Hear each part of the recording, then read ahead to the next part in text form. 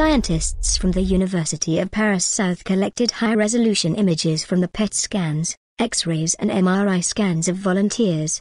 Using the Kinect camera to track the movement of two dozen joints, they were able to translate the medical images into lifelike animations and then project them onto the mirror-like screen. When users stepped in front of the mirror, they were treated to what looked like the insides of their bodies moving in real time. Not surprisingly, users had a mixed reaction to the inside-out reflections. In one experiment, the researchers left 30 people alone with the mirror for several minutes. Women seemed especially creeped out by the experience, with some gasping and covering their chests to block the view.